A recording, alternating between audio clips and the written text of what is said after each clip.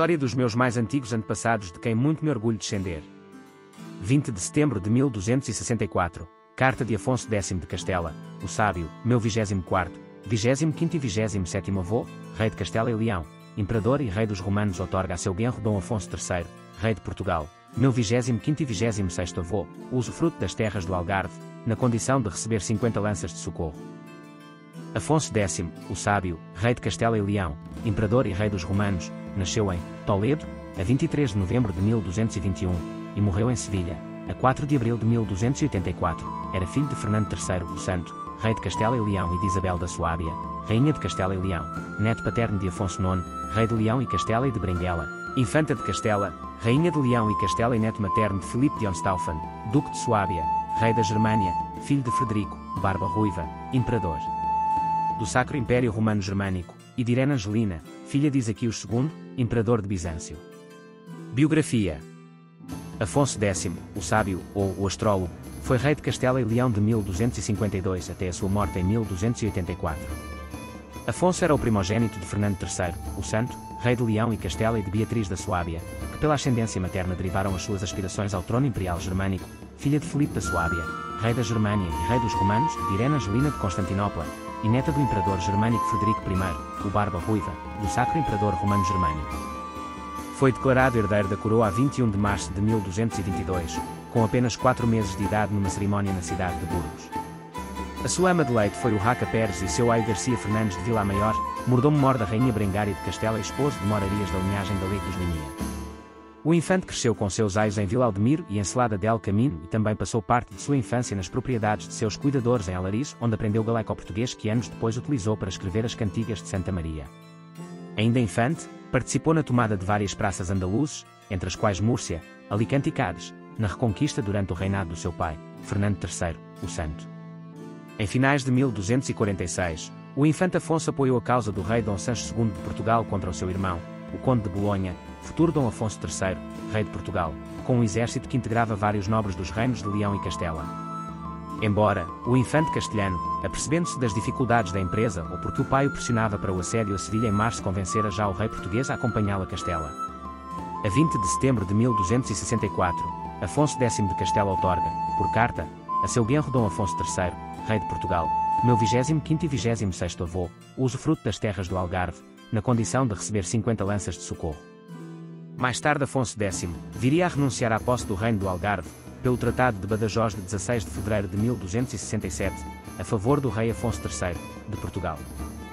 Família e descendência Afonso X teve vários filhos naturais antes de se casar com Dona Violante, infanta de Aragão, minha 25 e 27 avó. Com Maria Afonso de Leão, sua tia, filha legítima do rei Afonso IX de Leão e de Teresa Gil de Sobrosa, viúva de Álvaro Fernandes de Lara, teve Brengária. Contraiu matrimónio com Pedro Nunes de Guzmão, morreu jovem sem descendência. Depois, com Elvira Rodrigues de Vilada, filha de Rodrigo Fernandes de Vilada, que depois se casou com o Marinho Mor de Leão, Gonçalo Morado, teve. Afonso El Ninho, senhor de Molina e Mesa pelo seu casamento com Branca Afonso de Molina, filha de Afonso de Molina e Mafalda Gonçalves de Lara, de quem teve dois filhos. Foi um dos colaboradores mais fiéis de seu pai. Teve duas filhas com Dona Maior Guilherme Pérez de Guzmán, minha 24 e 27 avó, provavelmente a relação mais estável e duradoura do infante antes de seu matrimónio. Dona Beatriz de Castela, casada com o rei Dom Afonso III de Portugal, meu 23 e 26 avô, em 1253, e mãe do rei Dom Dinis de Portugal. Dona Urraca Afonso casada com Dom João Fernandes de Castro, meus 23 e 26 avós. Em 1240, o matrimónio do infante Afonso, que naquele ano tinha 19 anos, e Dona Violante, infanta de Aragão, minha 25 e 27 avó, com 4 anos, já estava acordado, segundo depreender-se do testamento do rei Jaime I, datado de 1 de janeiro de 1241. O contrato de casamento foi assinado em Valladolid em 26 de novembro de 1246. As testemunhas do documento foram, entre outros, Morarias, a viúva do ai do infante, Garcia Fernandes de Vila Maior e o Raca Pérez. A boda real celebrou-se em 29 de janeiro de 1249. Deste casamento nasceram Berengária de Castela, senhora de Guadalajara, foi noiva de Luís Capeto, filho e herdeiro de Luís IX de França, mas com a morte deste em 1260, entrou no convento de Las Huelgas. Beatriz de Castela, Marquesa de Monferrato, casou em agosto de 1271 com Guilherme VII de Monferrato. Eles eram os pais da imperatriz consorte bizantina Irene de Monferrato, casada com Andrónico II Paliolo.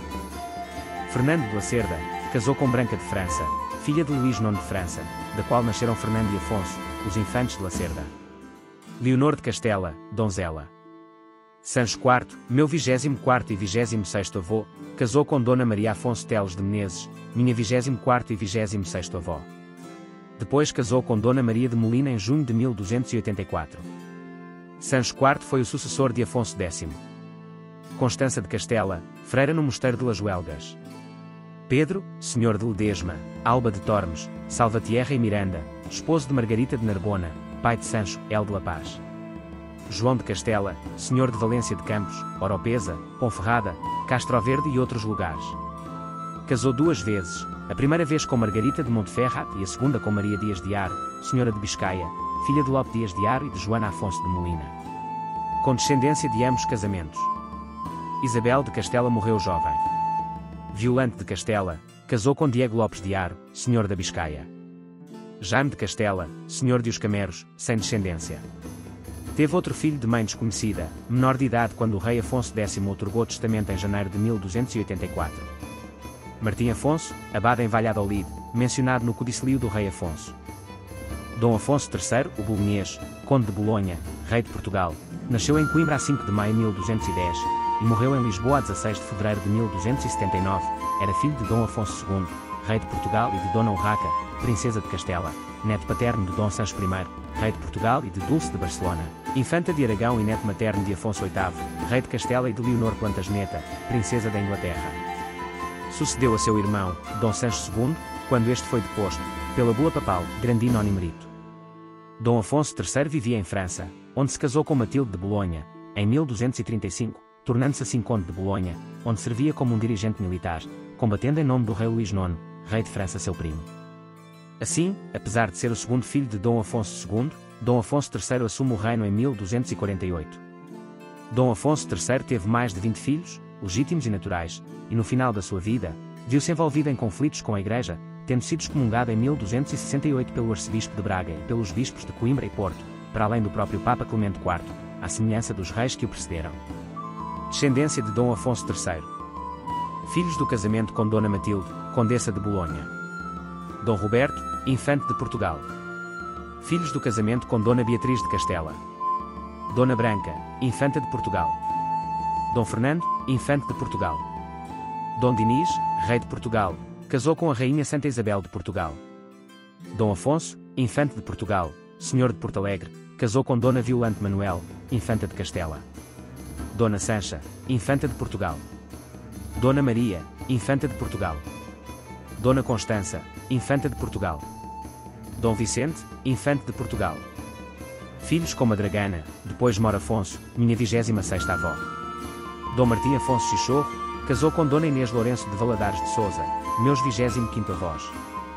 Dona Urraca Afonso de Portugal, casou com Pedro Anos Gado de Riba de Vizela, e depois casou com Dom João Mendes de Briteiros.